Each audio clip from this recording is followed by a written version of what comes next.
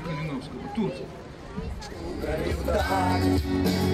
И сто тысяч налог просто как добре было.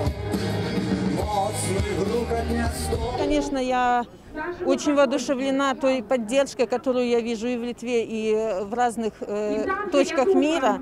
Но, конечно, очень жаль, что уже прошел год, и мы пока не в конечной точке. Но я уверена, что очень-очень скоро мы придем к переменам, мы придем к новым выборам, потому что по-другому быть не может. Белорусы не сдадутся. И это могу заявить, заявить со всей ответственностью, потому что я общаюсь с белорусами каждый день, которые остались.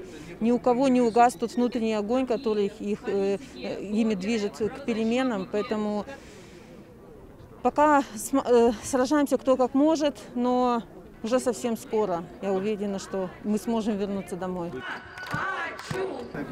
I hope we win this year. I want to come back. Личность, вот, и это самое просто. Ведайте, No, что не я беру. скажу вам кое-что давно уже зрозуміло. Сім лет. Ще про це многим. You know, we still are afraid to, to give our names because we have friends and family back there. And now we're На такій території. we cannot be sure that people will not come to arrest our families or to, to do something bad to them.